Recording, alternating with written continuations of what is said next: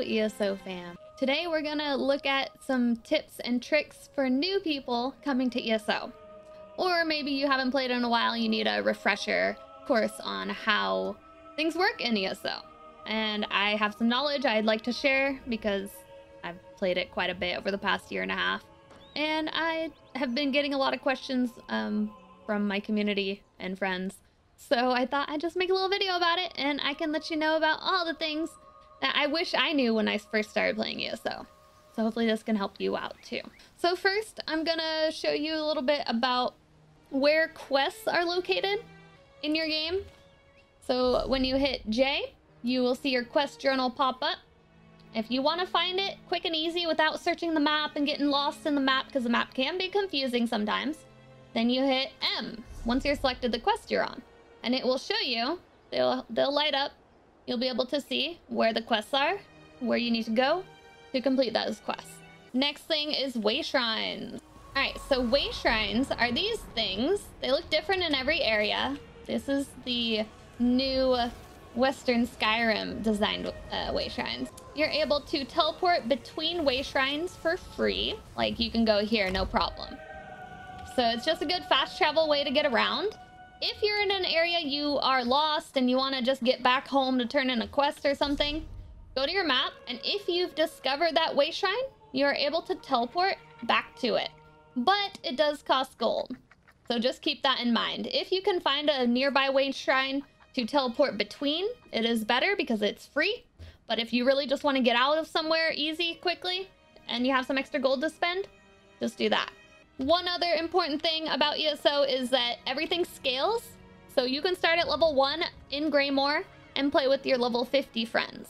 Doesn't matter what level you are, where you play in the game. Uh, they they changed the game from when it first launched so that now over the past couple years it's been like this where you can go anywhere at any level, play with anyone, everything scales. It's super great to uh, hook up with your friends and be able to play together, right? Also, there's no servers. You're either on NA or like EU. So you don't have to worry about joining a different server than your friend. You can play any race, any class, and still play with your friends. The only difference is factions. Factions you cannot play in the same PvP mode as different factions. So keep that in mind if you are doing PvP. If you're mainly only focused on PvE in the game, then don't even worry about it. So one more thing about guilds. So you can be in five guilds, which is neat. So you can have a different guild for trading, different guild for for raiding, uh, trials, uh, dungeons. You can have a social guild. You can have a selling guild. You can have whatever you want. You can be in as many as you want, up to five. and it's account bound, so you're able to get added on one on your account, and all your characters will be in those guilds. So yeah, here's a bunch of different guilds. The great thing is in this game, you're able to browse different guilds directly in the game and search for guilds that have stuff that you want from a guild, right? So there's trading, there's PvE, role-playing, social, um, PvP, questing, crafting guilds, all that. You can see their, their motto, their info, their story, all kinds of stuff. Once you've chosen some guilds to join, you can apply and get invited to the guild with this whole guild finder system, which is really nice. Once you hit like 100 members in a guild, you can have a guild trader. Not a guild trader, sorry. Guild trader is is expensive and hard to do. I'm not going to cover that in this video. Uh, a guild store is what you want to look for. Um, our guild has it, the Broken Pirates, and it's basically an in-guild auction house where you're able to post things and sell them and auction them off to members of your guild. Another thing I'd like to go over is the different things you can do in this game um, from dungeons to endgame. So you can do dungeons at any level, basically, but as you level up, you'll get access to unlocking more of them. The great thing about how Elder Scrolls Online works, like I said earlier, is you're able to play with anyone of any level. If you go under a group, you can go to Dungeon Finder. Actually, you have to be level 10 for your first dungeon. I'm sorry, I misspoke about when you can do your first dun dungeon. At level 10, you'll be able to do that. and you can queue for your role, healer, tank, damage. Queue for it. I recommend finding some friends to queue up for because sometimes it can take a bit to find a group, especially if you're only a DPS. So make friends. This game is better with friends. You'll want to do your daily dungeon, Your daily dungeon will offer ton of XP, like tons of XP, and then um, a satchel that you'll get that has like crafting supplies, some gold, and some other random food and goodies. So you definitely want to do your daily dungeons. Veteran dungeons are harder, like heroic dungeons, right? If anyone's played WoW. So these are meant for people level 50 plus, and some can be unlocked after a certain number of champion points, and some can be unlocked via DLCs that you had to buy and stuff, because certain parts of ESO are locked behind buying the DLC or buying the expansion to go along with it. So yeah, that's about it for dungeons, uh, the basic ones. The next step up from, from veteran dungeons would be trials. Trials are something that can be done on normal or veteran difficulty for higher rewards or higher uh, CP, which is champion points, which I'll go into next.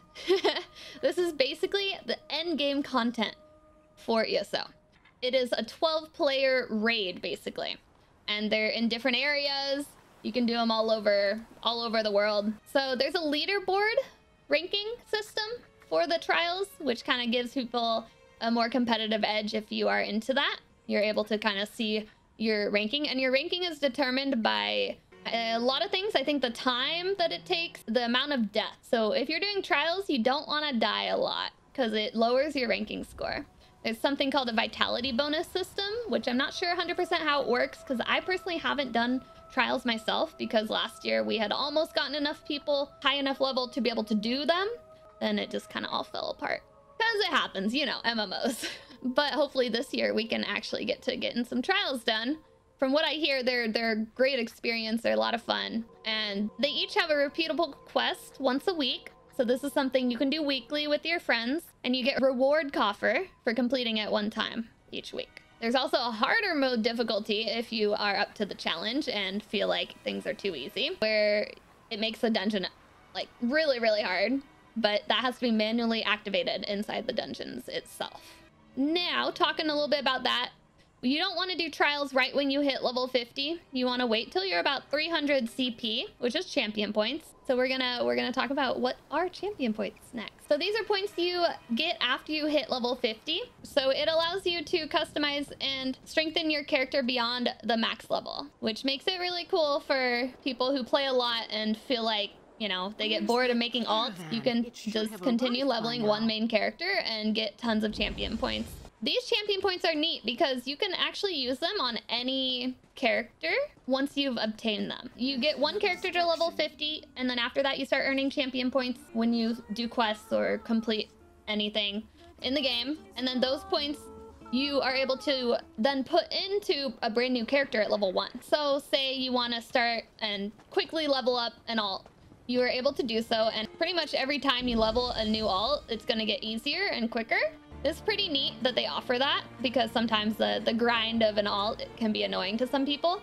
I personally love questing and, and just grinding different characters and learning different things. So I don't worry about rushing to get anywhere.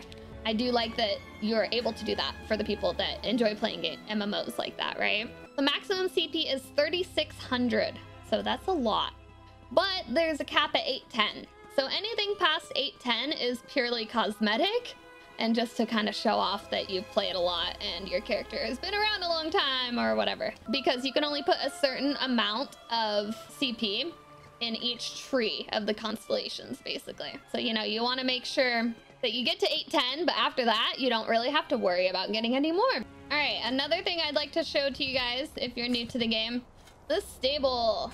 You'll see this type of symbol around most major cities. So basically, you want to talk to the stable master once a day because you are able to upgrade your speed, stamina, and carrying capacity. And once a day for 250 gold, you're able to do that. Uh, maybe initially you might need a couple days to get that gold or just ask a friend for some help. But you want to come back to the stable master every day because carrying capacity is huge, especially if you're not getting uh, ESO plus, which is an awesome way to improve quality life stuff uh, while playing ESO, but it's not necessary to play the game. Me, I love hoarding things and looting everything, so I have to pay for ESO Plus. That's just me. And the, you get some crowns and bonuses for having ESO Plus. I don't say that you need it to enjoy the experience of the game.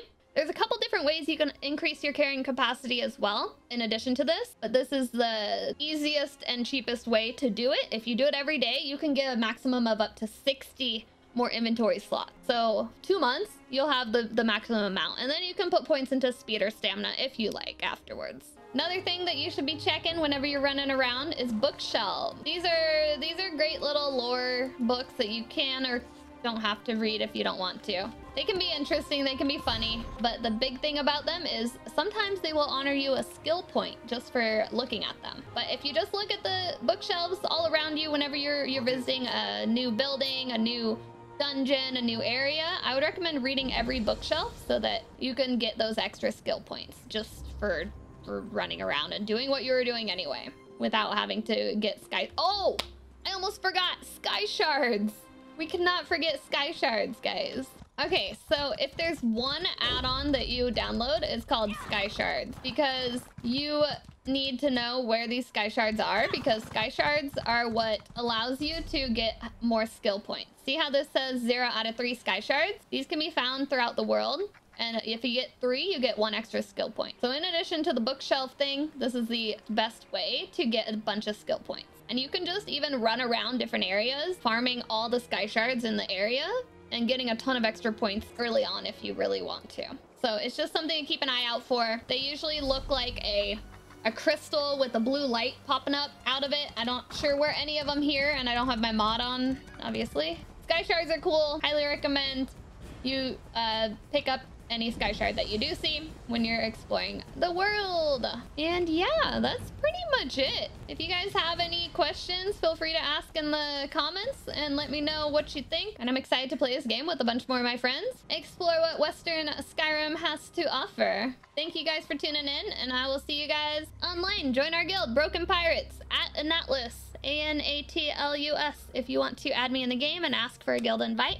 We are looking to grow our guild and have a great time. I'll be streaming this game fairly often and doing some more YouTube videos as I see fit. But yeah, ask me questions. I'm not a pro by any means, but I know the basics and, and I hope this video will help some of you guys who are struggling or brand new at the game and want to understand it better because once you understand it better, the game does get better. Once you learn how to play a game, you learn the tricks and stuff, then I feel like more people will enjoy the game. So I just want to help. So thank you guys for watching, and I will see you guys in Greymoor. Let's go.